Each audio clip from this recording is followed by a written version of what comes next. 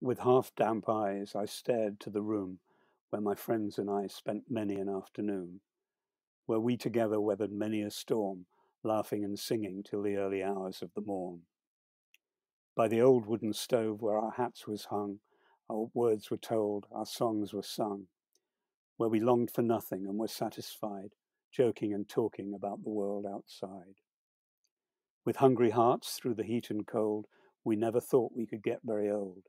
We thought we could sit together in fun, and our chances really was a million to one.